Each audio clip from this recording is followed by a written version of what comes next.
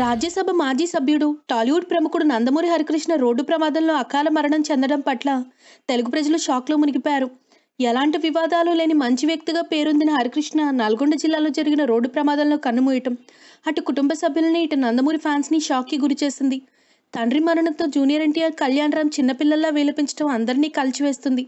హరికృష్ణ మరణ వార్తతో నందమూరి వర్గంలో విషాద ఛాయలను అలుముకున్నాయి ముఖ్యంగా నందమూరి వంశీకుల స్వస్థల నిమ్మకూరులో ఇప్పుడు ఏ ఇంట్లో చూసినా శోకసాంద్రం తలపిస్తోంది. నిమ్మకూరు వచ్చినప్పుడు ప్రతి ఒక్కరిని పేరు పేరున పలకరిస్తూ ప్రతి ఒక్కరి యోగక్షేమాలు విచారించే హరికృష్ణ ఇప్పుడు లేడని తెలిసి గ్రామస్తులందరూ కన్నీరు మున్నీరుగా వేలపిస్తున్నారంటే అత్యయోక్తి కాదు. ఇక తన బావమరి మరణంతో సీఎం చంద్రబాబు నాయుడు దిగ్భ్రాంతికి గురయ్యారు. బుధవారం ఉదయాన్నే కారు ప్రమాదంలో హరికృష్ణ తీవ్రంగా గాయపడిన విషయం తలుసుకున్న చంద్రబాబు వెంటనే అధికారులను అప్రమత్తం చేశారు.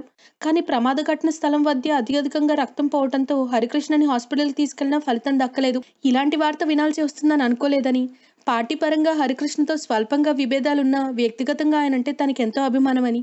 ముక్కుసూటుగా వ్యవహరించే ఆయన నైజం తనకిష్టమంటూ చంద్రబాబు తన సన్నిహితుల వద్ద అన్నారట తన సోదరుడు మరణంతో చంద్రబాబు సతీమణి భువనేశ్వరి దేవి కుప్పకూలిపోయింది.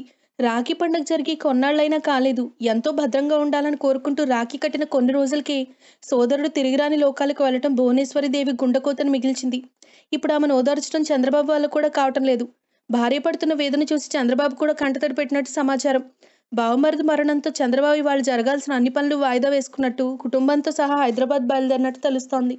If you like the video please like us and subscribe Tollywood Nagar